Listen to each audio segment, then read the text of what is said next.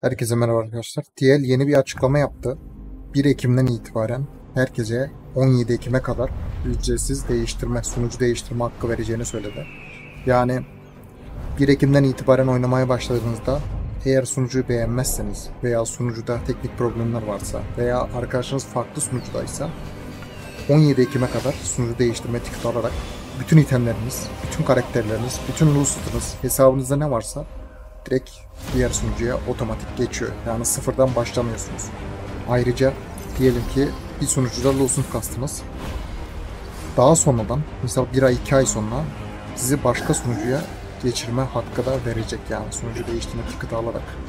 Bütün itemin bir sunucuda beğenmediniz veya farklı olaylar oldu. Klanca, topluca geçebilirsiniz. Ayrıca TL 72 sunucunun hazır olduğunu söyledi. Yani her bir sunucunun 2,5 bin kişi aldığını düşünürsek 72 yani 140 150 eee, yaklaşık 200 bin kadar kişinin oynayabileceği hiçbir sorun yaşamayacağını söylüyor. Ayrıca yeni bir duyuru daha yaptılar. Dungeon ve raidlerden düşen itemlara sınırlandırdılar. Yani Dungeon ve raidlerden çıkan bütün itemları satamıyorsunuz, trade yapamıyorsunuz, hiçbir şekilde alamıyorsunuz. Sadece Dungeon ve raidlerden düşüyor. Bunu yapmasının amacı şu, örnek verelim Dungeon raidlerde bazı itemlar çıkıyordu, çok değerli itemlar. Bunu adamlar 1000 dolar, 2000 dolar, 5000 dolar, 10 bin dolar olan parası olan adamlar geliyor tak diye alıyor sizin bir aylık, iki aylık yemeğinizi. Adam 1-2 günde alabiliyor ve sizin önünüze geçebiliyordu tier olarak.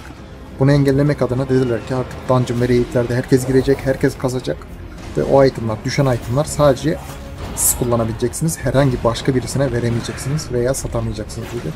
Bu çok iyi bir şey çünkü adam sizin önünüze çok rahat bir şekilde para verip geçebiliyordu. Bunu yapmaları gayet güzel olmuş.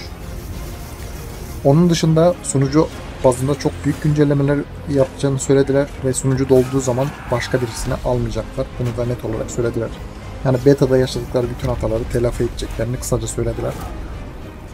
Bu eee, böyle bir güncelleme yayınladılar. Umarım oyun çıktığı zaman şey Avrupa sunucular açıldığı zaman nasıl olacak göreceğiz. Ben Amazon'a pek güvenmiyorum fakat yine de bir umut duyuyorum.